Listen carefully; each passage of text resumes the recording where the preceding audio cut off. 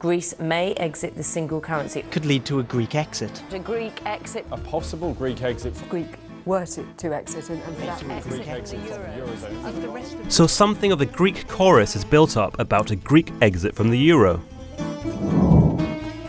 In fact, they've even minted a word for it. The Grexit. But if Greece really does decide to leave the euro, how will it do it? It's a pretty harsh economic climate out there.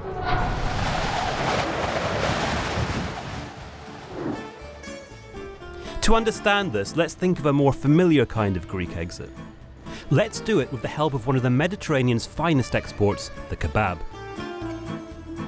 Think of it this way Imagine this kebab is the Greek national economy. People are constantly shaving off what they need from it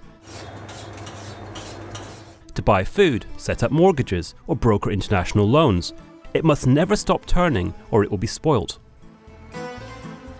So, how do you switch currency without losing momentum? Once it is decided that Greece is leaving the euro, the first step would be to close the banks.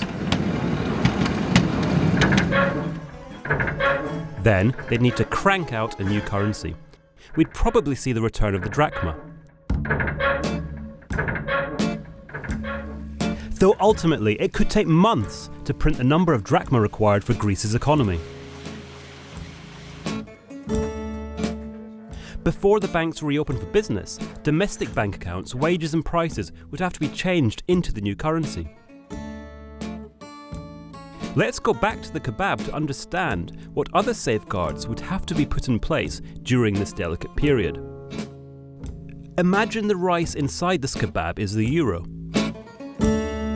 I need to swap it for this other rice, the drachma.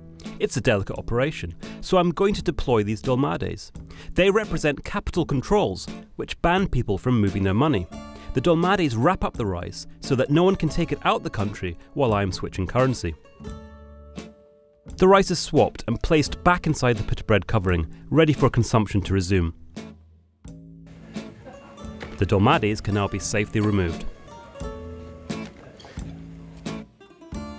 Now, when a new currency is ready, it would probably be introduced as equal to the euro.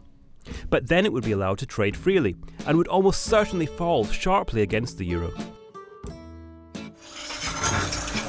This would be a testing time when many Greeks would feel like they were being squeezed even further.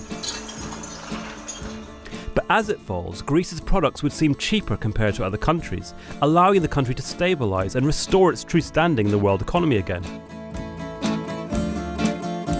Then again, if Greece does become the first country to leave the euro, this might encourage other countries to follow the same path, meaning the whole euro currency project could be skewered. So it might be that everyone ends up coming a cropper. Less.